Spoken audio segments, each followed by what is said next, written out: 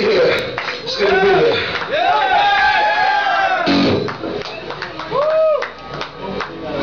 Song's called The Genesis of These Scars. It's how it all began. Yeah!